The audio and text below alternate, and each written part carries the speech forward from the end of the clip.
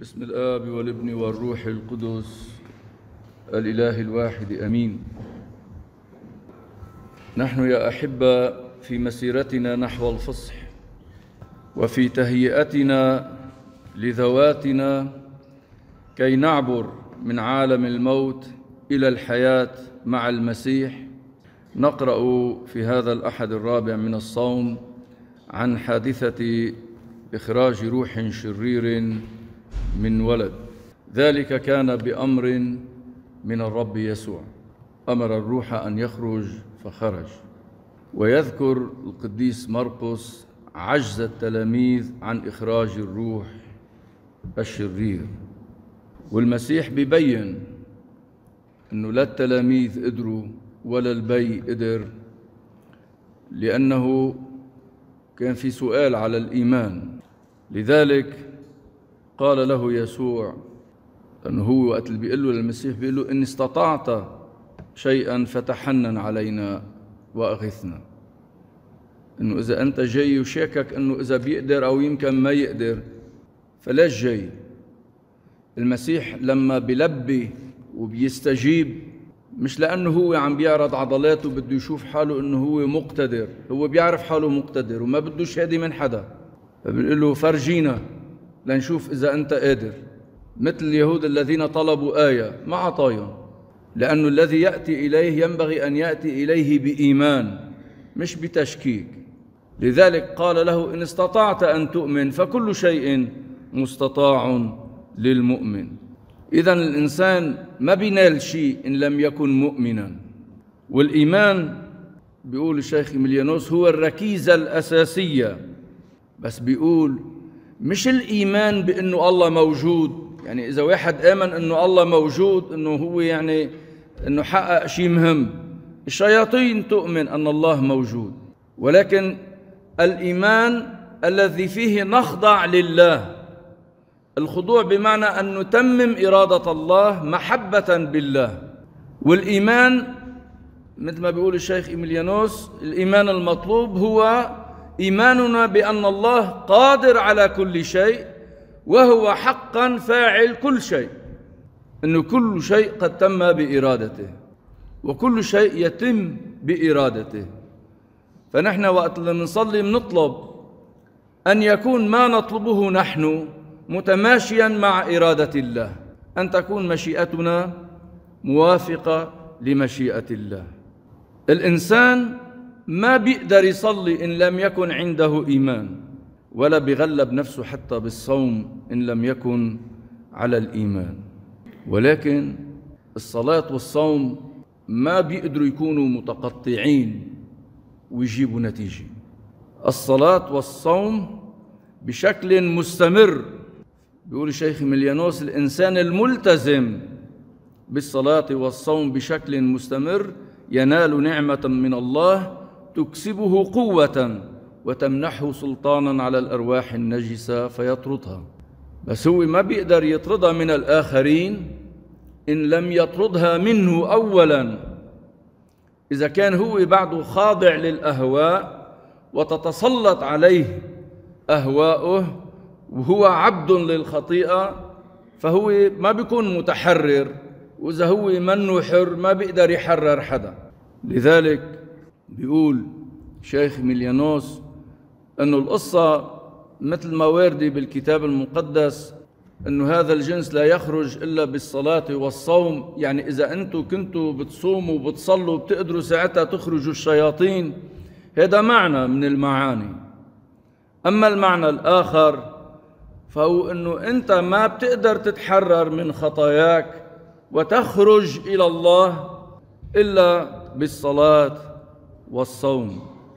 وبالمواظبة على الصلاة والصوم لأنه هكذا أنا أطرد الأهواء المفسدة للنفس. فبيقول الصوم يطرد الشياطين ويجذب الملائكة لأنه يحول كل ما هو مادي إلى روحي ويجعل نور الله يشرق في الروح وفي الجسد فيضيء الوجه وشخص الإنسان بكامله يستنير لأن الله قد سر أن يسكن في الإنسان. فالصوم مثل ما بيقول الشيخ إمليانوس هو العلامة المرئية المتينة التي تميزنا عن كل ما هو أرضي وساقط وشيطاني. يعني الإنسان لا يمكن أن يعود نقيا إلا بالصلاة والصوم. وفقط بالصلاة والصوم المستمر المستمرين نتيجة المرتكزين على الإيمان الله بيكشف ذاته. بيقول الله يكشف ذاته لأولئك الذين يصلون ويتضرعون ويصومون. لأنه بيكونوا بالمواظبة على الصلاة عم بيعبروا عن اشتياقهم أن يكونوا مع الله وأن يكونوا لله. وبمواظبتهم على الصوم عم بيعبروا عن اشتياقهم أن يرتفعوا عن الأرضيات إلى السماويات. هيك بيعبروا عن محبتهم لله وبالإحسان بيعبروا عن محبتهم للناس لأنه بتكون محبة الله انسكبت فيهم. من هون بيقول الشيخ مليانوس إنه علينا الانتباه وقت اللي بيحكي عن المواظبة على الصوم علينا الانتباه لأن الضمير إذا لم يبالي بالصوم إذا تقاعس عن الصوم ولو بدرجة بسيطة يعني إذا لم يترفع عن الدنيويات ولو بدرجة بسيطة فهذه اللامبالاة ستدخل التراخي إلى كيان الإنسان. هذا التراخي غير الصحي الذي يضر بالنفس وبالجسد. وساعتها بيقول لا يستطيع الله التحدث إلى قلب إنسان لا يصوم لأنه ما بيكون عنده نقاوي ما بيكون عم بيجتهد أنه أن ينقي ذاته. الصوم بيتطلب انتباه بالتالي لأنه إذا واحد تقاعس وتراخى بيخسر فمشان هيك بده يضل مركز. وهذا يعني أنني أعيش منتظرا الله أنا أريد الله وأطلبه. وبإيمان عندي يقين أني سأنال نعمة الله. وإلا إذا كان الإنسان عم بيصلي بيحكي مع الله بس منه متوقع أنه بده يشوفه معناها ما بيكون بإيمان. وإذا كان إنسان بيصلي وبيطلب من الرب وهو لا ينتظر أن يستجيب الرب لصلاته فإذا هو ما عم بيصلي بإيمان. إذا بيكون كلامه فاضي وما بيوصل لنتيجة. أنا أتوقع الله بجدية صابرا على كل الضيقات. يعني وقت الإنسان بيصوم ويترفع عن الدنيويات لأنه يطلب يطلب السماويات فهو يصبر على كل الضيقات. والضيقات هي جزء منا الجوع المعدة الفارغة. وجزء آخر منا بيكون العقل الفارغ إنه ما بي عنده أفكار مسبقة عن الله والقلب الفارغ من كل الأهواء بده يفضيها كليتها حتى ينتظر أن يملأها الله كلها. فبيقول الشيخ مليانوس بالصلاة والتضرع وبالصوم والمواظبة نستطيع أن نطلب نعمة الله التي بالإيمان تمكننا من الدخول إلى قدس الأقداس. مشان هيك بيقول القديس صفروني سخروف؟ إن الصلاة الحقيقية تأتي حصريا من خلال الإيمان والتوبة ونحن نحتاج إلى إيمان راسخ وتجلد طويل الأمد. يعني بده واحد يصبر لوقت طويل.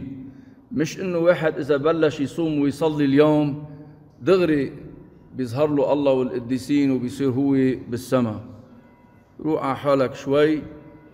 ما تنفش لأنه الشيطان كثير سهل أنه يغر الإنسان بالكبرياء بده يتوضع يتواضع. عشان هيك العذراء بالبشارة كانت عم تضطرب وتقول ما عسى أن يكون هذا الكلام هذا الإطراء من الملاك. بدها تشوف إذا هذا من عمل الشرير أو من الله. فبيقول القديس سفروني الصلاة تتطلب شجاعة بشرية فائقة وتمسك الإنسان بالصلاة دونما تشتت هو الذي يبشر بالنصر في كل صعيد من أصعدة الحياة. بنفس الاتجاه بيقول الشيخ إميليانوس إن صلاتي إلى الله هي توجه حازم وثابت نحو الله. يعني أنا بدي الله ما بدي شيء تاني غير الله. ولكن بيستشهد أنه المسيحيين الأوائل كانوا يواظبون على الصلاة والشكر.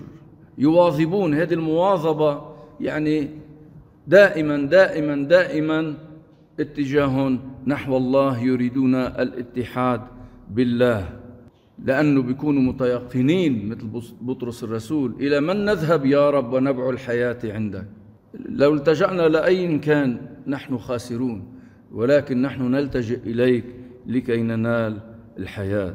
فمشان هيك بيقول الشيخ مليانوس حتى أتمكن من أن أصلي وأصوم بدي أتعلم أن تنظر عيني إلى المسيح وحده وبدي أتعلم أن أحيا له فقط. أحيا للمسيح وليس لآخر. ولهيك بيقول القديس صفروني الدرب طويلة ومليئة بالأشواك. الإنسان بيطلع السلم درجي درجي. مش من أول السلم دغري بيصفي بآخره. هذا اللي بيطير بيصفي بآخره منه إنسان. الإنسان العادي الطبيعي يتدرج.